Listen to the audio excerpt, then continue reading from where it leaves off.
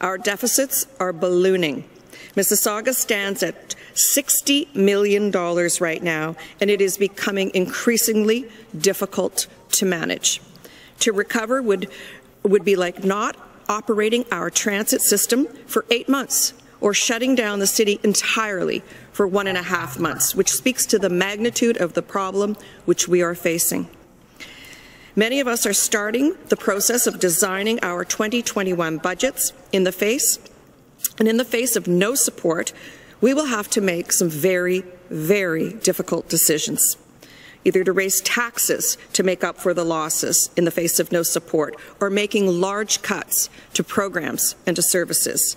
It's a lose-lose situation for cities and for the people we care about and for the people that we serve. I've spoken to the Premier and the Ministers of Finance and Municipal Affairs, and I know they are committed to striking a deal with the federal government.